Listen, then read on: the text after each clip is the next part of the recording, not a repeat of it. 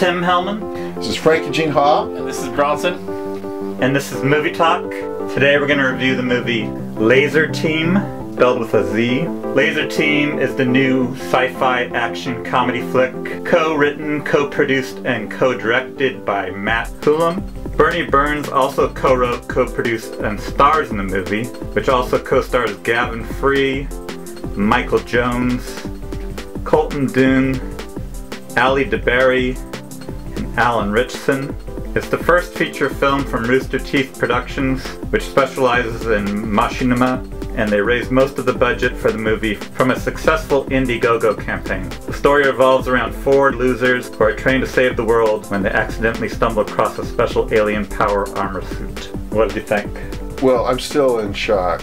Yeah, Um, it was that good. It was pretty decent. It was Yeah. definitely better than I thought it would be going in. It wasn't as good as I thought it was going to be. I didn't know it was going to be that geared towards kids, kind of like kids. Young- teen- teenagers. Kids. This is definitely a work of capitalism. It's aimed at a specific audience, teenage video, Video game. game. A lot of the humor is aimed right at them. It's designed for video game parallel product called transmedia. You make a lot of money by the incidentals along beside the movie. It's aimed right at that.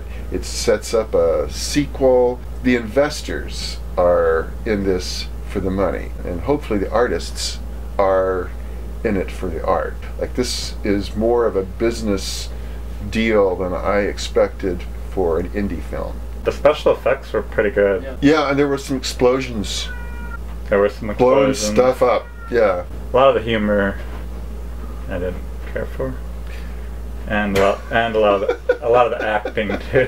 Why didn't you like the humor? You I mean It you, was you, kid- you kind of there's a like lot of uh, kids- low level uh, adolescent a lot type of kids jokes. humor. Yeah, right. I can't tell if the acting was was like bad on purpose or if it was just bad in general. 'Cause Yeah, it was kind of a supposed to cheesy, be kind of zany. kinda Cheesy. Yeah, zany. Kind of reminded me of Super Troopers a little bit. Yeah, I had that kind of got that vibe in the beginning feel. too, a little bit. Yeah. But more Super kiddie Troopers. than that. Though. This is clearly influenced by the contemporary culture and was just like riddled with it. A lot of commentary on social media. Yeah, Facebook, Twitter, uh, Obsession with likes. How many likes something? Yeah. YouTube. yeah, getting selfies, posting them. One of us was on their phone a lot of the movie. One of the three of us was on his phone So he during was, a lot of the movie and may not have gotten He all was the exactly details. what the movie was Yeah. criticizing. I think.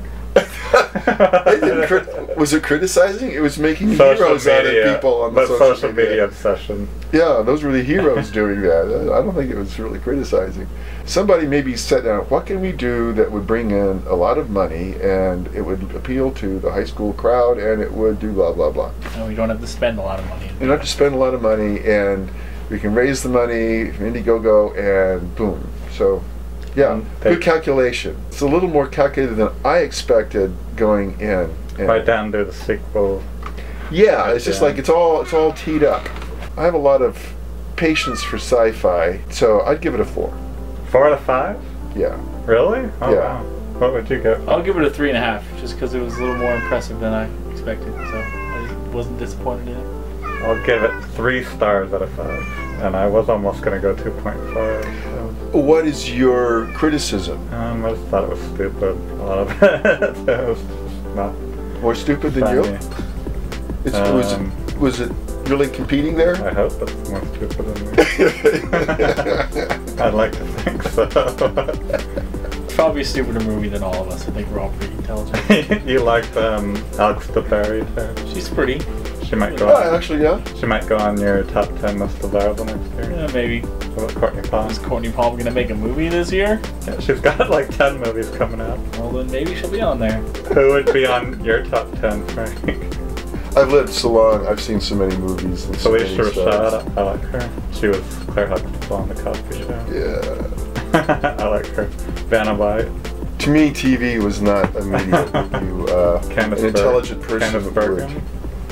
Yeah,